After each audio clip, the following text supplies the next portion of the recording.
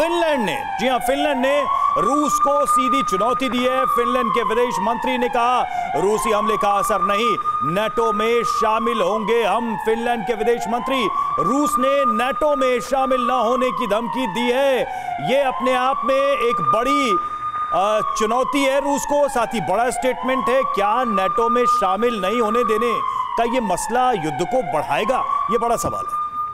और फिनलैंड के सख्त रुख के बाद कुछ सवाल भी उठ रहे हैं, उन पर भी गौर करना ज़रूरी है कि क्या वॉर अब ऑन हो चुका है और अगला टारगेट अब फिनलैंड होगा। क्या यूक्रेन के बाद फिनलैंड और स्वीडन रूस के टारगेट पर होंगे? छोटे यूरोपीय देशों के लिए नाटो में शामिल होना क्या मजबूरी है? ये सबसे बड़ा सवाल। और उसके बाद एक और बहुत महत्वपूर्ण सवाल ये कि क्या रूस और यूरोपीय देशों के बीच तनाव अब स्थायी हो जाएगा?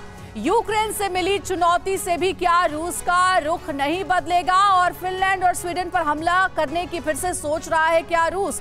यूक्रेन पे क्योंकि अभी तक पूरे तरीके से कब्जा नहीं हो पाया है, और ये पूरी जंग रूस और पश्चिम की थी, या पुतिन की निजी लड़ाई है। संजय सोई सर अब फिनलैंड और स्वीडन बताया जा रहा है कि रूस का अगला टारगेट है क्योंकि ये दोनों ही छोटे देश हैं लेकिन अब नाटो का मेंबर बनना चाह रहे हैं। पुतिन चेतावनी तो दे रहे हैं लेकिन ये मानने को तैयार नहीं है। कहीं इन पर हमला करके कोई बड़ी भूल यूक्रेन जैसी तो नहीं कर पाएँगे कर, कर लेंगे पुतिन। दो तीन चीज़ें मैं एक मिनट देंगे अगर आप।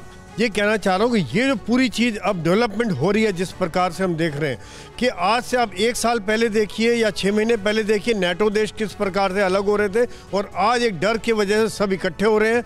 नए देश नेटो ज्वाइन करना चाह रहे हैं और यूक्रेन ने भी खाली यही बोला था कि मैं नेटो ज्वाइन करना चाह रहा हूँ। फिनलैंड की भी आज वही स्टेट है कि मैं नेटो ज्वाइन करना चाह रहा हूँ, नेटो ज्वाइन नहीं किया।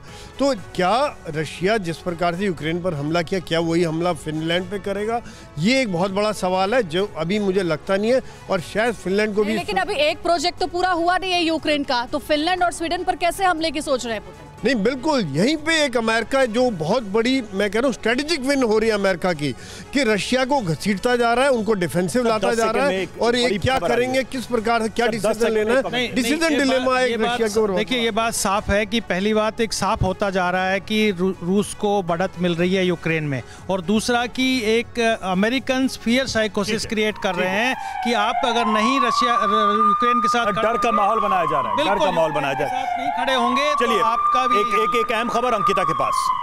रवि, डर का माहौल ज़रूर बनाया जा रहा है, लेकिन फिनलैंड कम से कम इस वक्त कॉन्फिडेंट नज़र आ रहा है कि वो नेटो ज्वाइन करेगा ही करेगा। बात इस वक्त की एक और बड़ी खबर की कर लेंगे। पुतिन से मिलने के बाद ऑस्ट्रेलियाई चांसलर का ये खुलासा सामने आया है।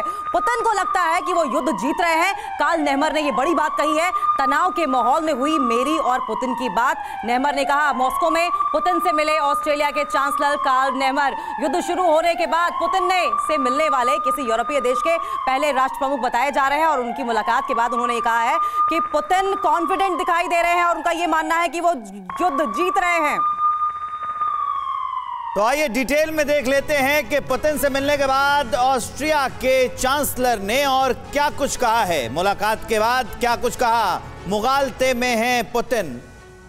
रूस यूक्रेन युद्ध को लेकर अपने ही तर्कों में खोए हुए हैं पुतिन। ये कहा है और पुतिन को लगता है कि वो यूक्रेन से युद्ध जीत रहे हैं।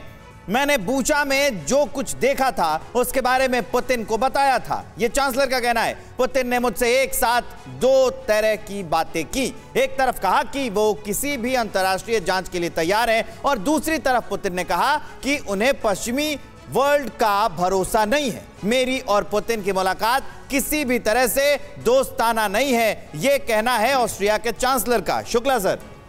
हाँ, देखिए उसने बिल्कुल सही कहा है ऑस्ट्रियन चांसलर ने कि इस लड़ाई के दौरान जबकि पूरा पश्चिमी देश और यूरोपियन कंट्रीज़ अमेरिका पुतिन के खिलाफ है तो ऑस्ट्रिया देखता है कि ये टेंशन में है पुतिन। और पुतिन कभी भी विश्वास नहीं करता यूरोप के ऊपर और नाटो देशों के लिए उसको बूचा के बारे में बताने पर भी वो कहता है जो कत्लेआम हुआ उसकी जाँच इंटरनेशनल क्रिमिनल कोर्ट कर सकती है और उसकी जाँच करने दीजिए लेकिन मेरे को कोई फ़र्क नहीं पड़ता ये पुतिन का कहना है।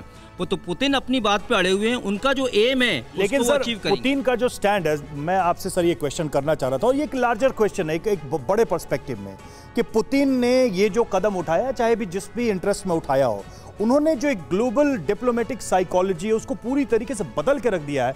No small country is safe right now ऐसा नहीं है कि कोई स्मॉल किसी न किसी एसोसिएशन में रहना पड़ेगा। नहीं, ऐसा नहीं है। ये जो परवाह देश की। सोमवार से शुक्रवार रात 10 बजे टीवी 9 भारतवर्ष पर।